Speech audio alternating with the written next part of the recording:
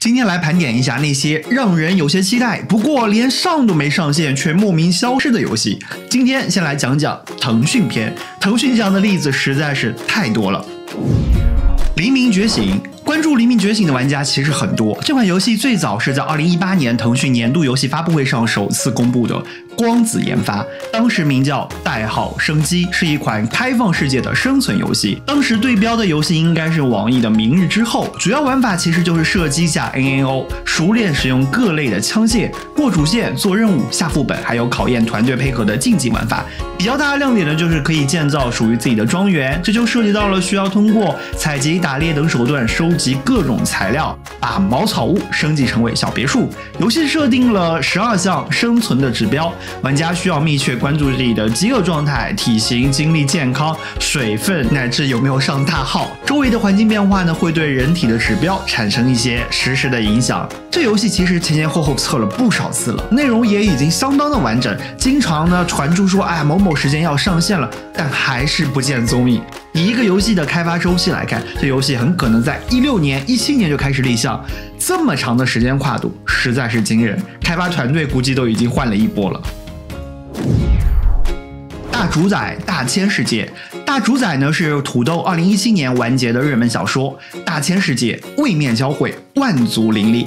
这小说的设定还是非常适合做游戏的。其实这个 IP 很早呢就被土豆给卖掉做游戏了，不过一九年版权到期结束运营后呢，又卖给了腾讯。腾讯在二零二零年的年度发布会公布说，天美在做这一款开放世界游戏，据说是三 A 级别的。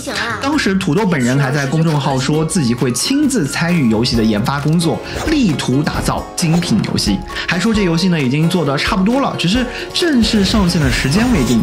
游戏号称呢将。实现十万人同服，跳出传统的 A O 横向拓展的思维定式，设定了超大的游戏场景，真实还原位面交错的大千世界。我之前呢也参与过一次测试，画面呢还是不错的，还是有一些特色的，但实际玩法只能说是夸大其词，还是那一套一条龙的玩法。之后呢就一直没有了消息。七月份官方公众号已经注销，官网呢也彻底无法访问了，已经凉凉。看来，强如光子天美这样财大气粗的工作室，依旧有太多搞不定的游戏。D N F 手游这款游戏就不用说了，游戏界最扑朔迷离的一次大无语事件。明明前期大肆的宣传上线的时间，包括腾讯内部人员也对于这款游戏期待满满，列为了当年的 S 加级别的游戏，结果却无预警的临时喊卡，愤怒的玩家把 Tab 上的评分打到了二点五分。至今呢，鸽子事件的真正原因也无从所知，坊间是各种消息传得沸沸扬扬，也没有一个准确的官方说法。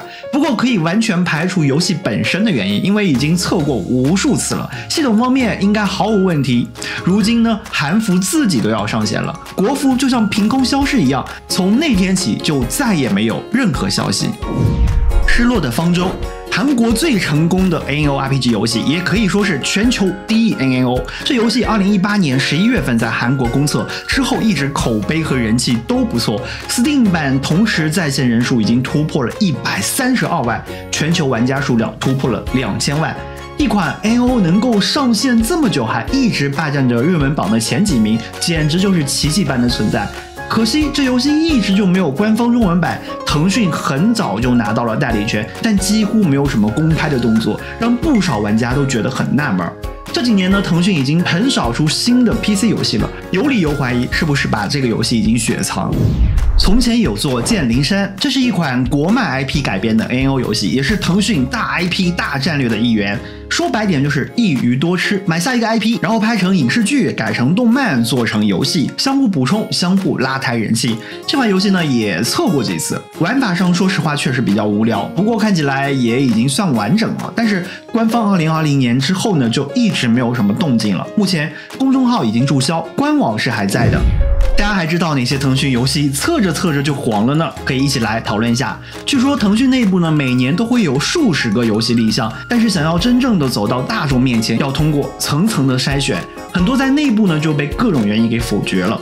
然而这么层层把关，好像游戏品质还是那样。大家知道是什么原因吗？我是宇轩，点赞关注，一起玩好玩的游戏。